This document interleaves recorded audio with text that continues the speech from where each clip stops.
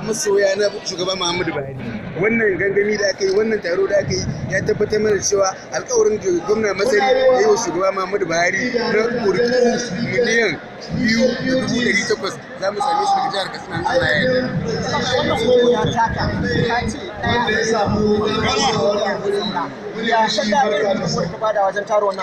To alhamdulillah mun kirawo membobinmu daga dukkan ƙananan hukumomi 34 na jihar Katsina sun zo sun cika wannan wuri. Kuma mu ma mun ɗauko shugabanni na ƙasa mun zo da su wannan fili saboda aƙidar mu da kuma tsarin mu da ƙungiyar mutum da ya sanar da mutum goma. Muna yi domin shugaban Muhammadu Buhari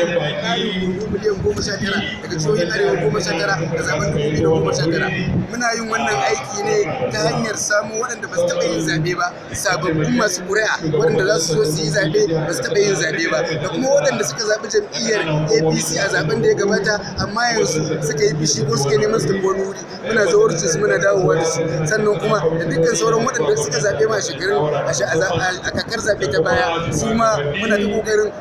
nuna musu irin nasarorin da shugaba Muhammadu Buhari ya samu domin ƙara ƙara musu ƙwarin gwiwa sannan kuma muna wayar da kan masu zaɓe akan yaya za a yi zaɓen shi kansa da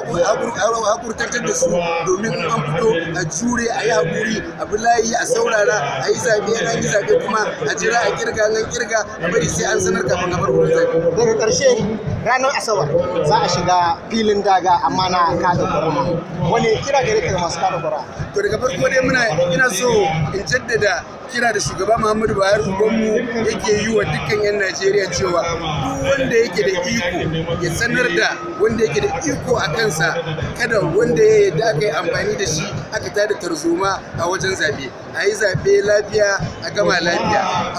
Muhimmin abu shine wanda yake da nasara wanda yake da nasara baya ta da hankali. Mu kuma muna da nasara saboda haka muna kira ga dukkan masoyanmu masoyan shugaban Muhammadu Buhari. Kada wanda ya tada tarzoma kada wanda ya tada fitina a wajen zaɓe a je a kada ƙuri'a cikin lumana a zauna a saurara a ƙirga an ƙirga an sanar sannan kowa ya tafi gida.